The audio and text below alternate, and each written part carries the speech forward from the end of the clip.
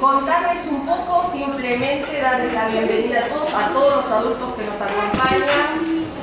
Eh, van a estrenar la sala, ustedes van a hacer el estreno de esta sala. ¿Qué significa? Que a partir de hoy la biblioteca va a tener un nuevo espacio en el cual ustedes van a venir a leer exactamente. vamos a aprender a leer? Y vas a ver que van a aprender enseguida. Vos tenés paciencia, tenés paciencia. ¿Eh? Acá hay un montón de cuentos, ahora van a ver un poco. Eh, y un poco formalmente, eh, no, contarles un poco, más que nada a los adultos, el porqué de que estemos todos acá. Simplemente hace 100 años atrás, un nene como este que está tirado acá, también transitó. Vino por primera vez. Esta, en este espacio ya existía esto. Estaba desmayado, pero poder revivir rápidamente. Este espacio ya existía acá. Y 100 años atrás lo generó un escritor argentino, Leopoldo Lugones. Un escritor argentino que ha sido a lo largo de nuestra historia un personaje bastante controvertido. Pero a pesar de esas controversias, eh, vemos que era un hombre de muchas facetas. Y una de las facetas era que le daba importancia a la educación del ciudadano, pero de un ciudadano especial, del niño. Y entonces, en este caso, todo el equipo de la Biblioteca Nacional de Maestros se puso en marcha bajo la batuta y la, digamos, el dinamismo del secretario de Gestión Educativa, Oscar Giglioni, que hoy nos acompaña y que recuerdo muy bien el primer día que vino de visita a la biblioteca, me preguntó qué queríamos hacer. Y yo le dije, ay, mira, queremos una sección infantil. Y enseguida estuvo con Alicia y con todo el equipo, con Ana, con Mauro, con Dana, vino enseguida a decirnos, allá va la sección infantil. Y hoy se nos hizo realidad. Entonces, eh, simplemente eso. Para nosotros es una alegría, es un día de festejo, es recuperar una tradición perdida y nosotros como equipo de trabajo somos muy identitarios y tenemos muy fuerte este tema de la identidad.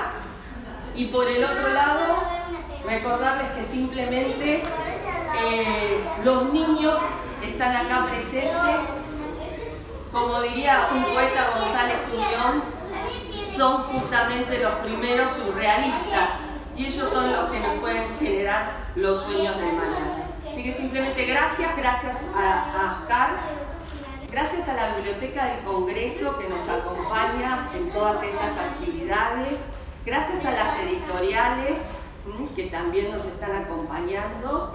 Eh, y bueno, simplemente decirles que la casa esta es de todos, que todos los que trabajamos acá nos sentimos como en una casa y que esperamos que ese cariño se lo podamos transmitir a todos. Nada más. Gracias.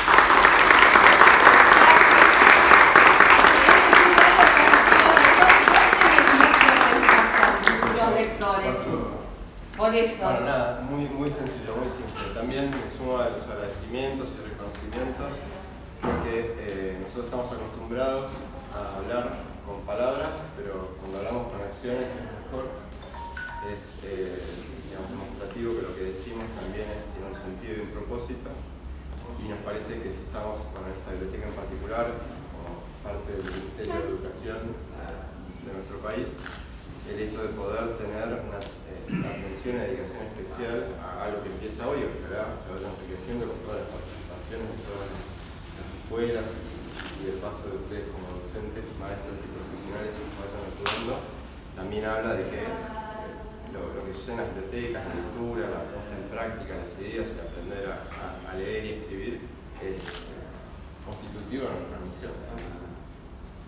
¿no? solo tenemos que decir, sino que claramente lo tenemos que hacer. Por eso es muy especial y es un orgullo como este primer día de poder encontrarnos con lo que pensábamos, que seguro lo podemos seguir trabajando y ampliando y mejorando, eh, escuchando las opiniones de, los expertos. Exactamente, son los mejores usuarios y son los usuarios que son genuinos. Que sea, que sea un espacio vivo, que no sea solo un espacio donde eh, sucedan los muebles o, algún dibujo o algo, sino que esto, le decía Mariana, podamos llenarlo de actividades y de propuestas para que realmente es un espacio que esté constantemente siendo utilizado y siendo, siendo aprovechado durante los días de la semana, donde participen distintas, con distintas propuestas las escuelas y también los fines de semana para abrirlo a la comunidad y al barrio y también que sea un espacio para, que sea aprovechado por, las familias que están cerca, cerca de aquí. Y bueno, eso es y también va de vuelta y muy especialmente el agradecimiento a todos los equipos, personas, instituciones que nos fueron ayudando eh, durante este tiempo y es lindo celebrar que algo comienza y inmediatamente ponemos en acción para seguirlo enriqueciendo y creciendo. ¿Cómo están? Vieron, nosotros estamos de fiesta hoy, ¿no? Se inaugura esta biblioteca que ustedes van a poder venir cuando quieran. Y acá mañana cuando nos contó dijimos de la biblioteca y tenemos un amigo pero que es muy tímido. No sabía que iba a haber tantas cámaras ni nada, así que tengo un amiguito acá que en realidad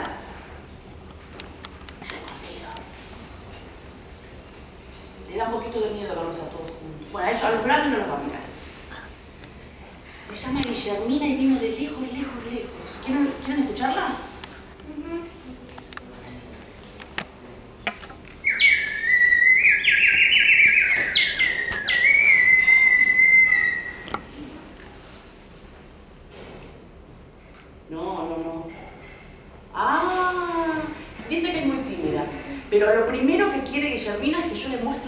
Parecido de donde la traje. ¿Quieren ver un lugar de donde la traje?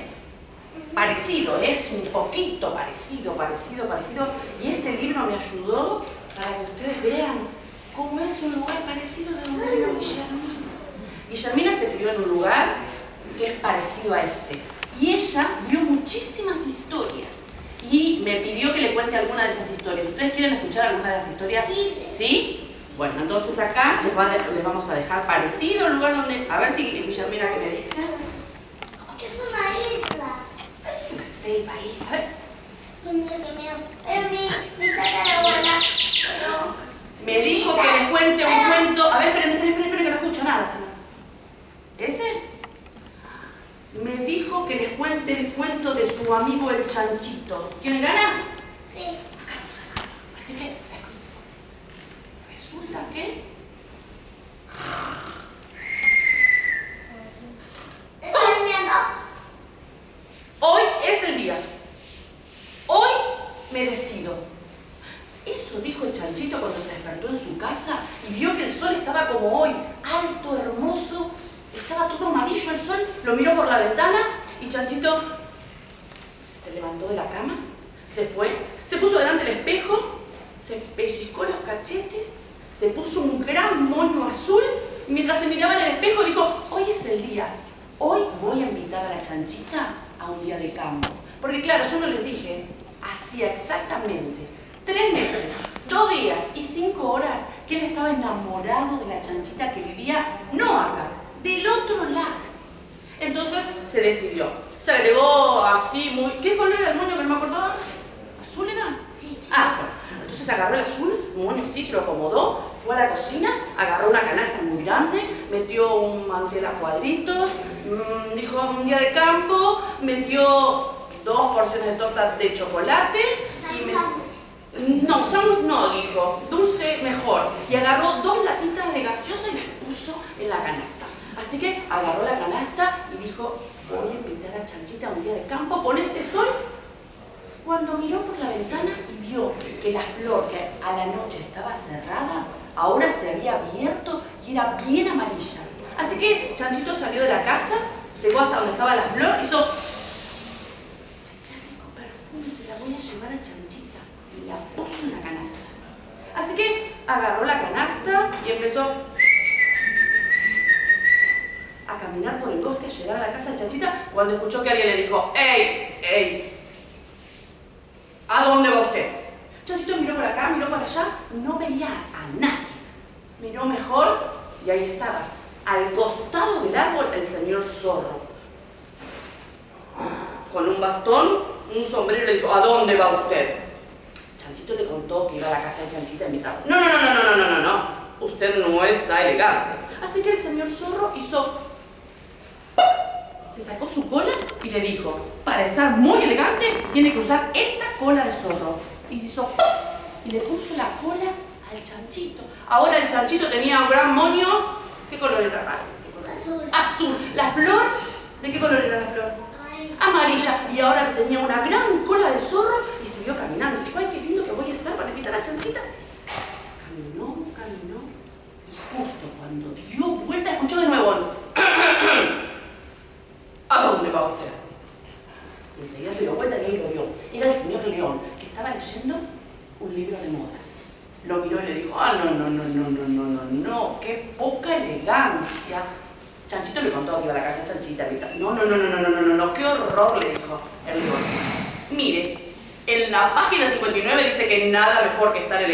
una gran melena de león.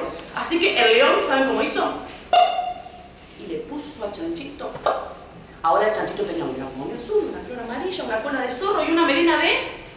¡De león! De león. ¡De león! Tenía entonces dijo, ay, qué lindo que estoy. Se volvió a proyectar los cachetes y dijo, ya estoy cerquita de la casa de Chanchita para invitarla a un día de campo. No, era león.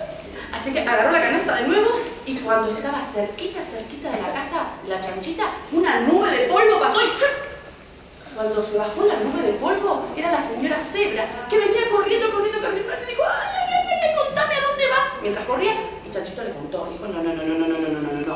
Lo mejor, lo mejor para estar elegante es que te pongas mis rayas. Así que la cebra hizo, se sacó las rayas y se la puso a Chanchito. Así que ahora el chanchito tenía una raya de cebra, una melena de león, una cola de Color. zorro, un moño Azul. una flor amarilla. Y así, con los nervios en la panza, llegó a la puerta de la casa de la chanchita y golpeó. Nada, era sábado. Chanchita tenía toda la casa con las ventanas abiertas, había puesto una gran flor y estaba limpiando la casa, escuchaba música y no escuchaba, así que de nuevo. Cuando Chanchito se acercó a golpear de nuevo, justo Chanchita abre la puerta. Y cuando lo vio, dijo: ¡Ay, es un monstruo en la puerta de mi casa, rayado y peludo! ¡Qué feo! Cerró la puerta en la cara de Chanchito, que se puso todo rojo de vergüenza, no lo reconoció, pensó que era un monstruo. Chanchita se fue a llorar abajo de su cama, muerto de miedo. Y Chanchito se vio todo así, rayado, peludo, y empezó a correr. Corrió, corrió muy rápido. Y llegó primero a la cebra y le dijo, muchísimas gracias. Le devolvió las rayas. Llegó al león y dijo, muchas gracias. Le devolvió la melena. Y se encontró con el zorro y hizo, y le devolvió la cola. Dijo, ay, ¿ahora qué hago? Se pellizcó los cachetes con su moño azul y dijo, ¿qué hago? ¿Voy o no voy? ¿Voy o no voy? ¿Le invito o no le invito? Dijo, sí, hoy es el día. Así que volvió rapidito corriendo de nuevo a la puerta de la casa de Chanchita. Y ahí volvió. Chanchita estaba llorando, tenía un miedo, no salía ni de casualidad. Así que Chanchita despacito, despacito, abrió la puerta y cuando lo vio dijo, ¡ay! Chanchito, qué suerte que sos vos, no sabés, recién vino un monstruo yo estaba solo. Chanchito no le dijo pero agarró la flor y le dijo, nada mejor para curar un susto que una flor. Así que, ay, gracias, le dijo Chanchita. Pero estaba tan nerviosa, tenía tanto miedo. Ah, no, no, no, no. Nada mejor para curar un gran susto que un día de campo. Así que, Chanchito le dijo, Chanchita, ¿vos querés venir conmigo a un día de campo? Ay, ¿qué le dijo Chanchita? ¿Que sí o que no? ¿Qué le dijo? ¿Qué le dijo? ¿Qué le dijo? sí. Sí, sí, le dijo. Sí, así que dejó la casa como estaba, se arregló la flor roja, lo agarró del brazo a Chanchito y empezaron a caminar por el pasillito despacito hasta que salieron al bosque y empezaron a caminar, caminaron, caminaron, caminaron. Cuando Chanchito vio un árbol grande, dijo, acá. Sacó el mantel a cuadros, lo puso, sacó las dos porciones de torta de chocolate, porque ahí estaba viviendo después. Ahí pasó cerca de eso. Puso la torta, sacó las latitas y Chanchito se sentó al lado de Chanchita. Y despacito dicen que dicen que dicen que le dijo un secreto. Pero se lo dijo tan despacito que nadie lo escuchó. Ni siquiera, ni siquiera lo escuchó nuestra amiga Brillantina. Y colorín colorado, el cuento del chanchito se ha terminado. El chanchito del día de campo se ha terminado. Así que, para ver. Ah, me dice que capaz que quieren escuchar otro. ¿Sí? ¿Contamos otro? ¿Hay tiempo para otro? ¿Sí? A ver, espera. Sí, dice que sí, acá. Dice que sí, allá también. Sí, ya tiene que No, no. sí. Me dijo que les cuente uno de un lobo.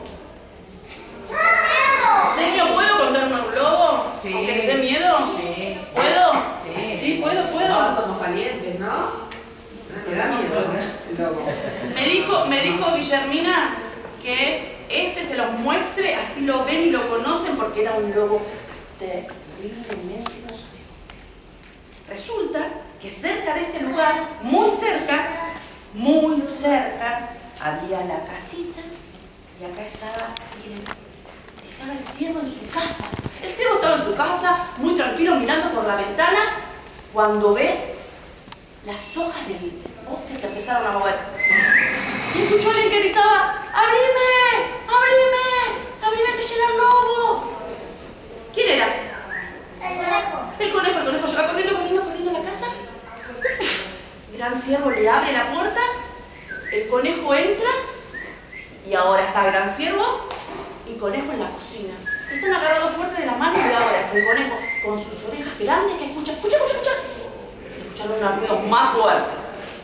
Fueron a mirar por la ventana vieron que las hojas se movían más fuerte. Y el ruido era bien fuerte. ¿Quién llega? Están mirando por la ventana y escuchan algo así. A ver, ¿me ayuda? Un. Y miran por la ventana y se acerca alguien. ¿Saben quién era? El chanchito. El chancho. El chancho viene corriendo. Viene corriendo. Viene corriendo y dice, El "Abrime". chancho conoció a la chanchita. Era otro chancho. Parece que era después. No la llevó la chanchita. Dice, abrime. Abrime que llega el lobo. Y le abrieron la puerta. Y ahora tienen la cocina, el gran ciervo, el chancho y el conejo. Ay, tengo sed. Ahora escuchan un ruido más fuerte. ¿Cómo era el ruido que escuchan? No, más fuerte. Más fuerte. Miran por la ventana los tres y ven que las hojas se mueven bien fuerte. Y alguien grita, ¡Abrime que llega el lobo! ¡Abrime que llega el lobo! Es el- El oso. El oso llega corriendo. Como puede, dice, ¡Abrime que llega el lobo! Fue malo. El oso ahora entró en la casa del gran ciervo. Y está el ciervo, el chancho, el conejo y el oso. Y sí, ahora todos juntos escuchan un... Ustedes no nos pueden ayudar, pero a ver, bien fuerte, ¿cómo escuchan un qué? ¡Rápido, rápido, rápido, rápido, rápido! Y miran todos por la ventana y las hojas se mueven. ¡Chu, chu! ¿Llegó el lobo? ¿Llega el lobo? Sí. Sí, atención. Llegó el gran lobo y en la ventana de la casa ellos miran atentamente el chancho, el conejo, el gran ciervo, el oso. Mm, ¿Y acá dejo, señor? Yo sigo. ¿Sigo? ¿Sigo? Llegó el gran lobo. ¿Quieren saber lo que pasó? ¿Se animan? Sí. ¿Se los comió? Sí. ¿Se los comió? ¿Sí se los comió? No. ¿No? A ver qué pasó. No. Ah, sopló. No, este, es de ese no es. A la una, a las dos y a las tres. Que los cumpla. Que los cumpla